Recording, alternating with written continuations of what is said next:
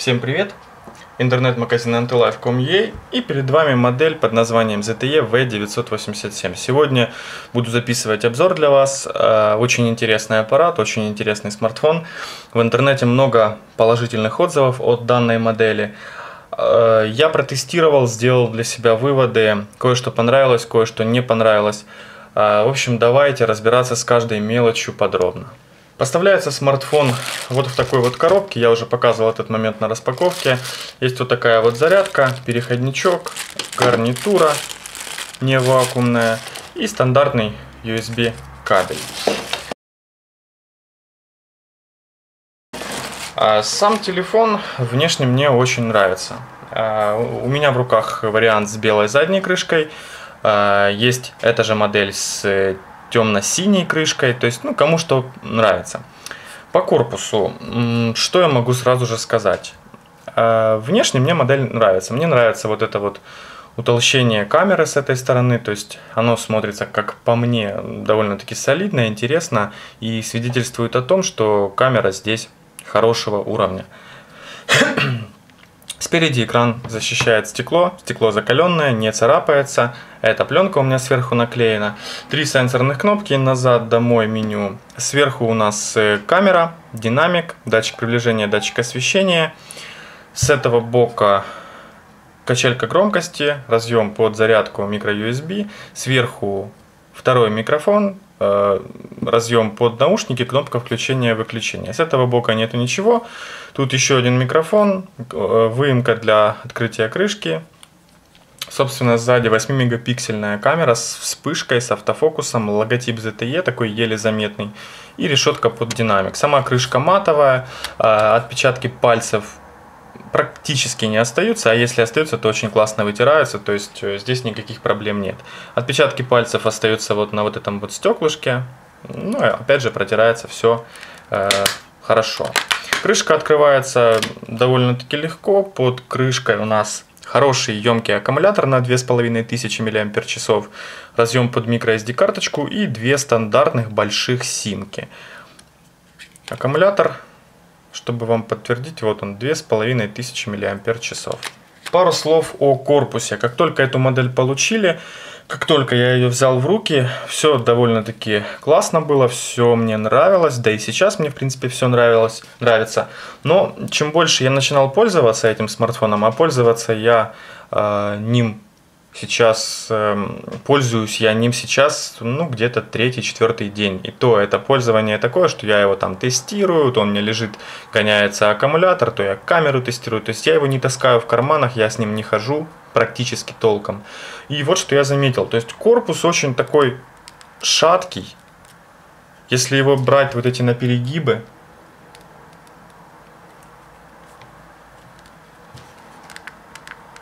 он довольно-таки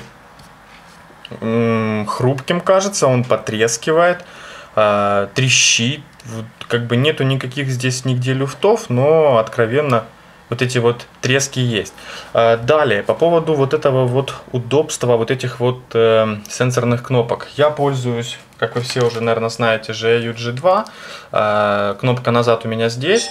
С чем я столкнулся, когда тестил этот модель? Допустим, просто держишь этот смартфон в руках, вот этой вот правой рукой, как я обычно, я правша, и что-то там клацаешь, то есть я держу смартфон в принципе вот так вот, то есть мне так удобно, я его могу нагинать, там что как делать. Большим пальцем я в принципе могу дотянуться везде. Но, допустим, я куда-то зашел и мне нужно вернуться назад. Э, на GIU G2 я брал и спокойно себе нажимал вот эту кнопку, но чтобы здесь мне добраться вот до этой, то это довольно-таки неудобно. То есть э, так я что-то там клацаю, что-то там вот так вот клацается, и тут я могу нажать назад, назад, назад. Тут же мне нужно ну, ну, как бы довольно-таки неудобно по сравнению с расположением вот в этой стороне. Это мое мнение.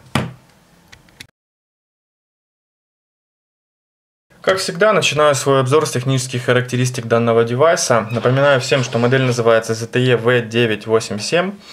А, имеет она 5-дюймовый дисплей, разрешение HD. В Antutu набирает эта модель 12973. Стандартный показатель для этого процессора и для этого разрешения. Процессор MTK6589, не турбированный, частота процессора 1.2, разрешение экрана 1280 на 720, 8 мегапиксельная основная камера, гиг оперативки, 4 встроенных, э, стоит у меня карточка на 16 Сразу же скажу, что с картой памяти работает телефон отлично.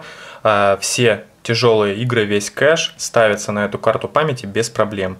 А, фронтальная камера у нас 1,2 мегапикселя. Видим, что у нас LED вспышка, датчик CMOS. Э, а, то есть это довольно-таки хорошая оптика, матрица IPS. Какие же у нас есть датчики в этой модели? Давайте смотреть через программку Z-Device Test. Из датчиков у нас тут все стандартно. Хороший GPS, Wi-Fi, Bluetooth, датчик приближения, датчик освещения, акселерометр. А, в принципе, достойного уровня вспышка здесь. Потом покажу чуть позже, как фотографируют в кромежной темноте. А, никакого гироскопа, здесь ничего этого нету. Еще вот как бы не по теме, а, снимал обзор Huawei Honor 3, был один умник в комментариях, если он видит это видео, он все поймет. Ну, парень, а, если ты мне показываешь а, ссылку на официальный сайт Huawei Honor 3, и там тебе пишут, что вот есть у него гироскоп, а, естественно, многие сайты будут на своих э, сайтах, на своих страничках э, заливать именно эту информацию, что есть гироскоп. Но я вам показал в программе. Программа, которая показывает все эти данные. Если здесь гироскопа нету, значит его нету. И то, что пишут на официальных сайтах, э, но потом будет следовать фраза вам, что производитель изменил характеристики устройства или комплектацию или что-то еще без нашего ведома. И ничего вы никому не докажете. Идем дальше. Э, тестировал эту модель через программку Antutu Tester. Количество точек касания здесь их 10 в принципе, хороший, нормальный, стандартный показатель. Э, по поводу экрана. Экран здесь шикарный, об этом чуть позже, но скажу вот в данном случае, что никаких битых пикселей, ни одного я здесь э, не нашел, мне это не удалось.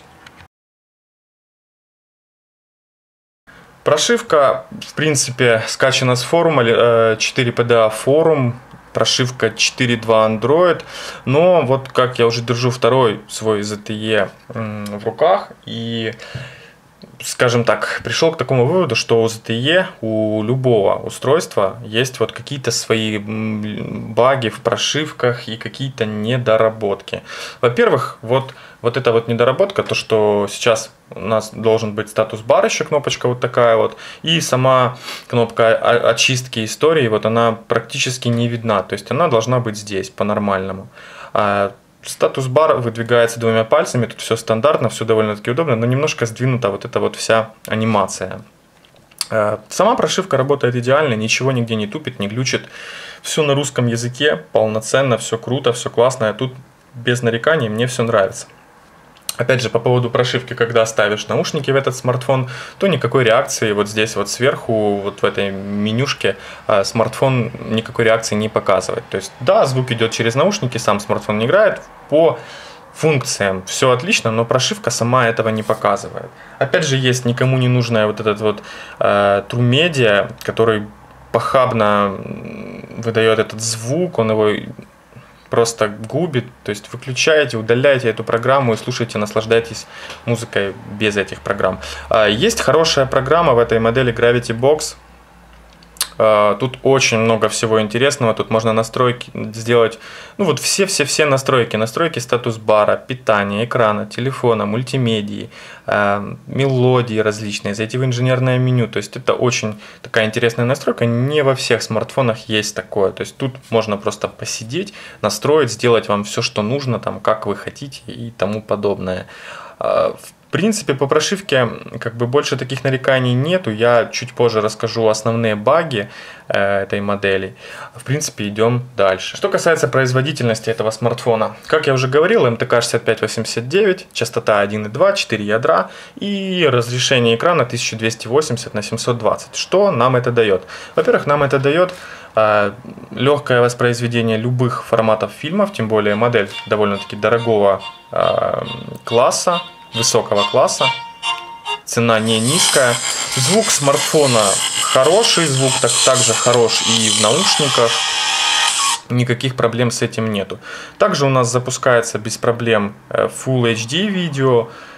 Не тупит, не глючит, звук есть. Тоже все хорошо и все классно.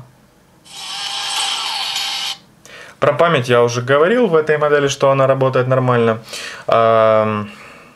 много, много дифирамбов раздают экрану этой модели. Здесь IPS матрица. Действительно, экран очень классный, запас яркости также на уровне. Автонастройка яркости также работает отлично. Мне здесь все понравилось.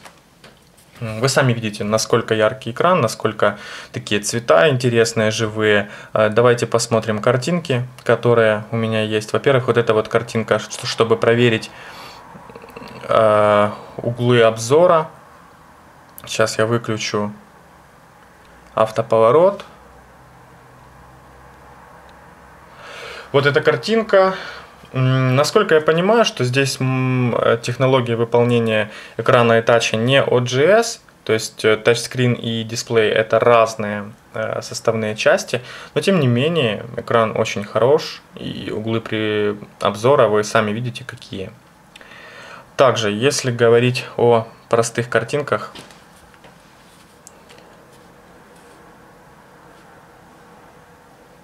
Автоповорот, автоповорот, вот он. Еще раз заходим в картинки.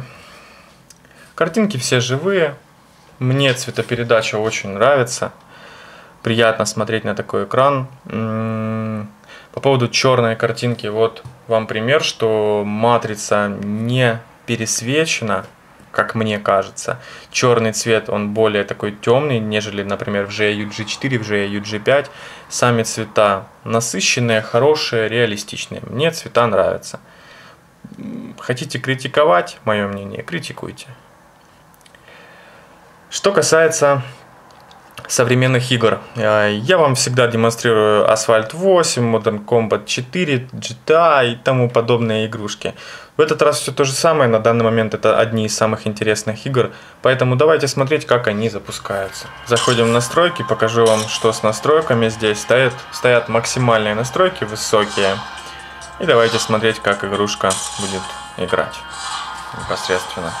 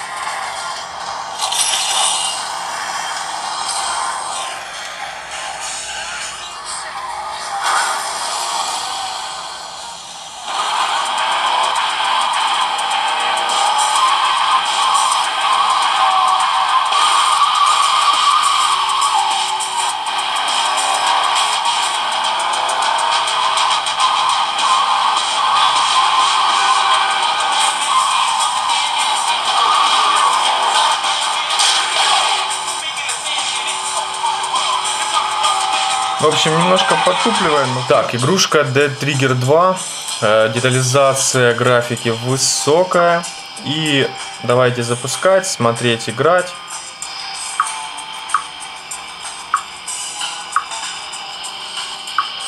Пока будет запускаться уровень, в общем, рассказываю очень неприятный момент во всех ZTE, насколько я понял, или может быть это нужна прошивка. В общем, я тестировал модель ZTE V967S, вот эта модель V987, и в той, и в этой модели один глюк. Э, во время игры, во время стрелялки э, мне нужно управлять двумя тапами, то есть двумя пальцами.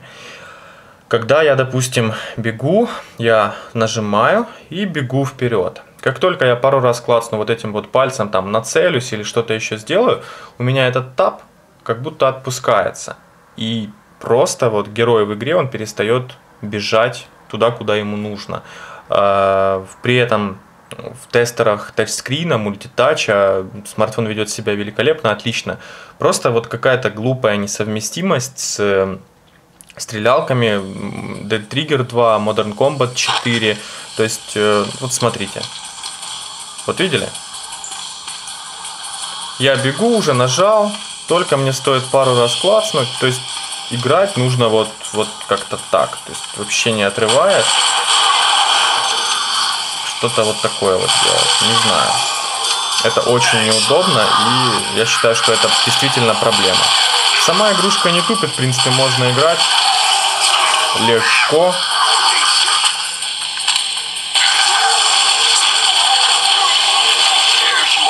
Поэтому, возможно, это нужна какая-то более последняя прошивка. Мы так особо не парились с этим.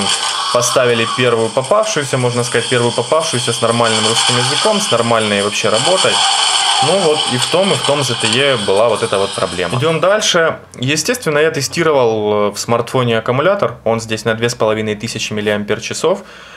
Это вот тот момент, который мне очень нравится в этом смартфоне, что как, как вообще ведет себя аккумулятор, как он работает. Я протестировал его по максимуму.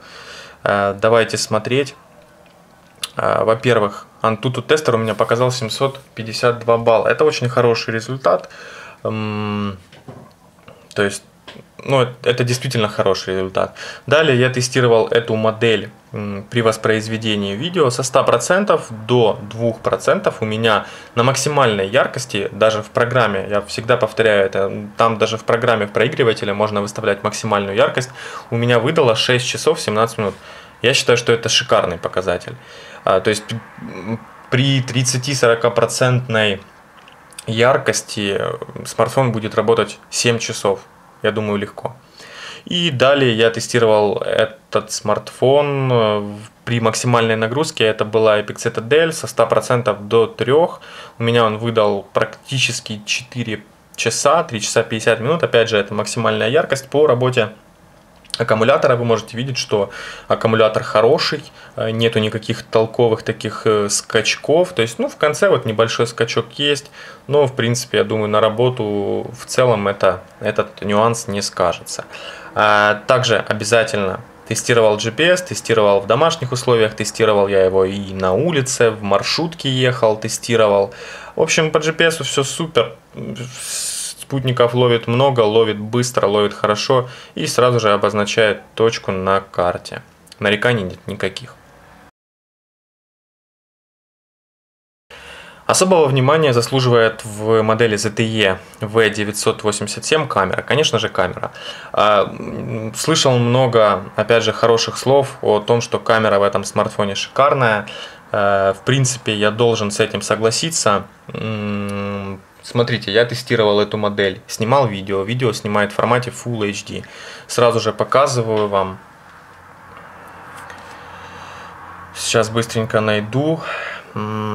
Видео снимал при хорошем освещении. Был поражен тем, что помимо того, что качество самого видео очень высокое, так еще и зум работает отлично с шикарной детализацией.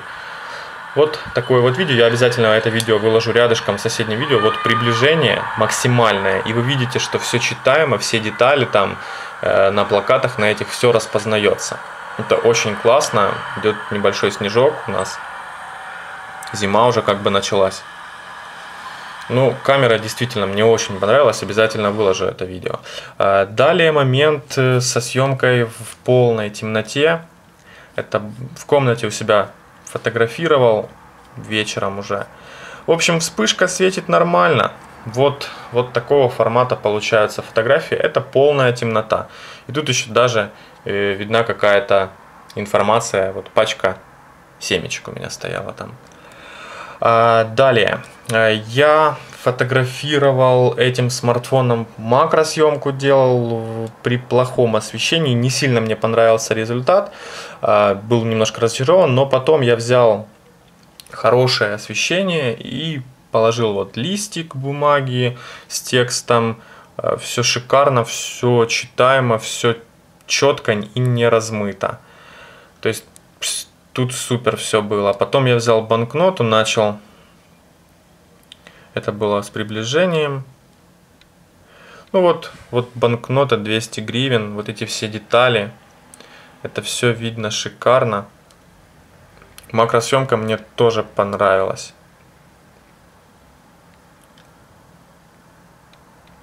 Тоже я ничего не могу про макросъемку сказать плохого.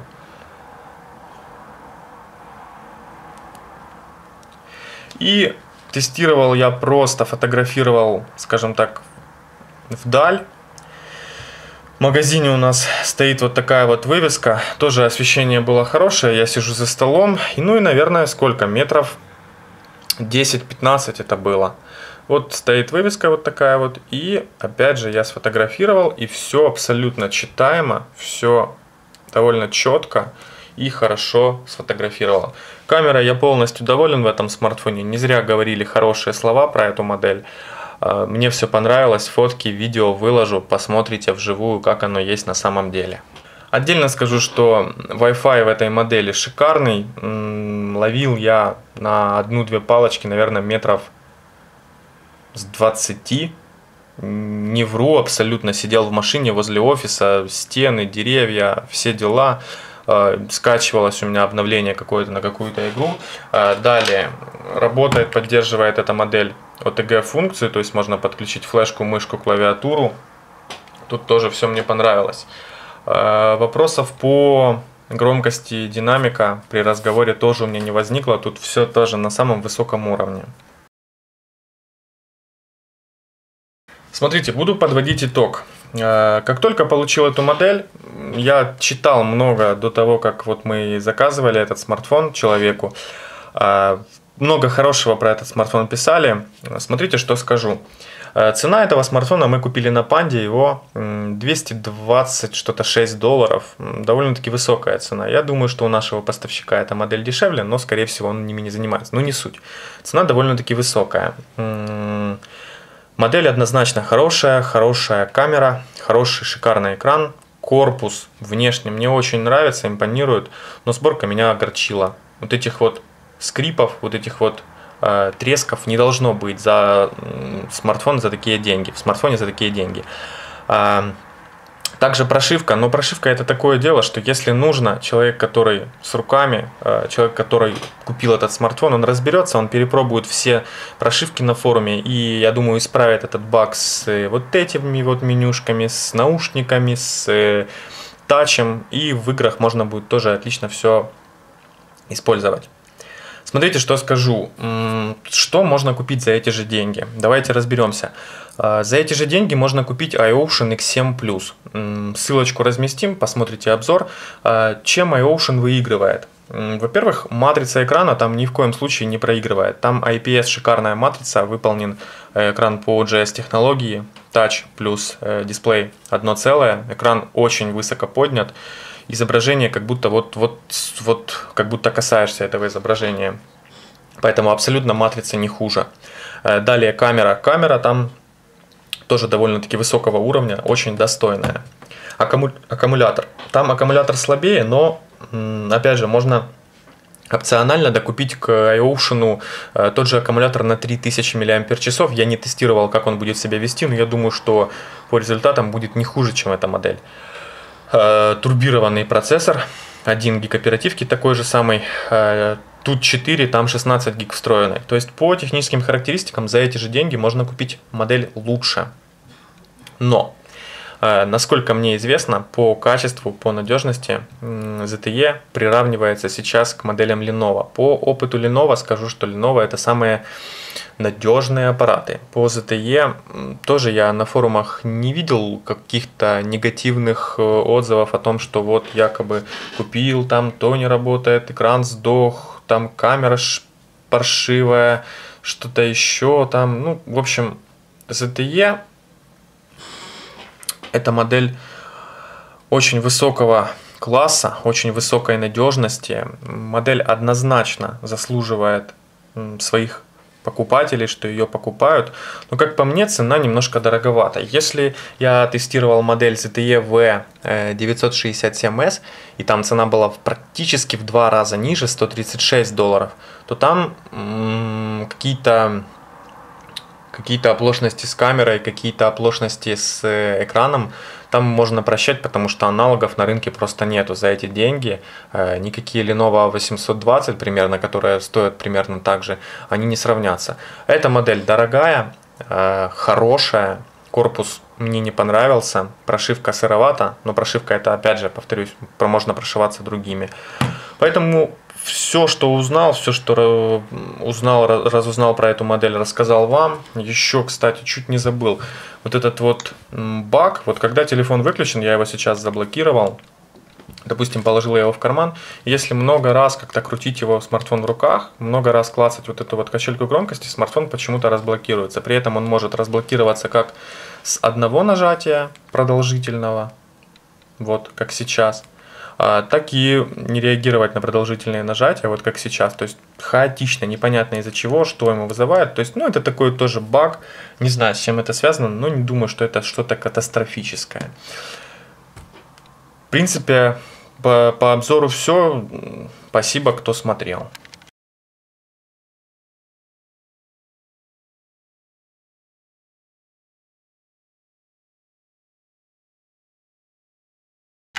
Друзья, хотел еще добавить несколько слов про наш канал, про наш интернет-магазин. Записываю обзор я сегодня 6-12. А, скорее всего, обзор будет выложен на наш канал, наверное, понедельник, вторник, наверное, числах в десятых. Очень долго происходит монтаж, все вот эти вот дела.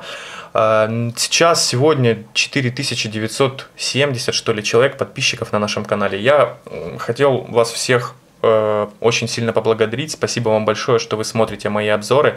Спасибо большое, что вы комментируете, что вы э, пишете какую-то критику. Я как бы благодарю вас и за обоснованную критику, и за необоснованную критику, за негатив благодарю. Я к многим просьбам, к многим пожеланиям очень прислушиваюсь, стараюсь исправляться как могу. Поэтому спасибо вам большое. Без вас бы ничего не получилось. Оставайтесь с нами, подписывайтесь на канал, ставьте лайки, ставьте дизлайки, кому не нравится, пишите комментарии, задавайте вопросы, будем по возможности вам всем отвечать. Не забывайте интернет-магазин antilife.com.ua. Э, для вас сделаем самые низкие цены. Если у кого-то ниже, будем делать еще ниже. Это не проблема. На этом все. Спасибо. Всего доброго.